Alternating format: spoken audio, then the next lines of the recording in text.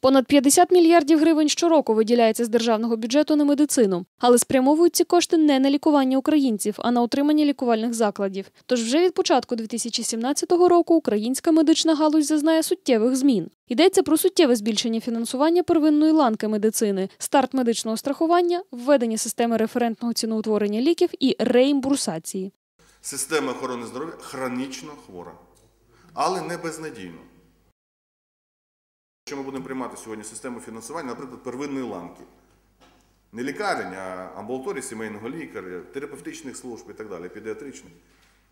Мова йде про те, що ми зараз визначимо, що для об'єднаних територіальних громад, які вже об'єднуються, питома вага в фінансуванні первинної ланки, ота, яка найближче до людей, вже буде збільшена від нашого голосування сьогодні до 40% від загальних коштів, які виділяються на медицину.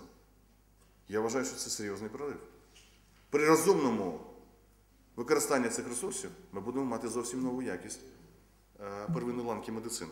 Високу якість лікування українців міг би забезпечити перехід до лікування за європейськими протоколами. Проте наразі про це не йдеться. Немає і розрахунків щодо вартості послуг з лікування. Це може спричинити появу нових корупційних схем. Реформа обов'язково і ці зміни мають проходити в комплексі.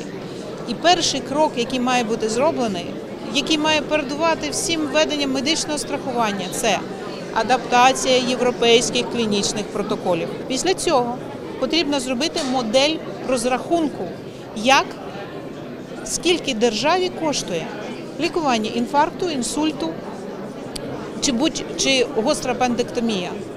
Це другий крок, без якого переведення до медичного страхування є неможливим. Тому що якщо ціна буде формуватися від стелі, ми погрязнемо в новій побутовій корупції. Одним із важливих кроків щодо реформи медичної галузі має стати впровадження страхової медицини. Лікування українців здійснюватимуть за рахунок податків, що надходять до бюджету, а коштами розпоряджатиметься національний страховик.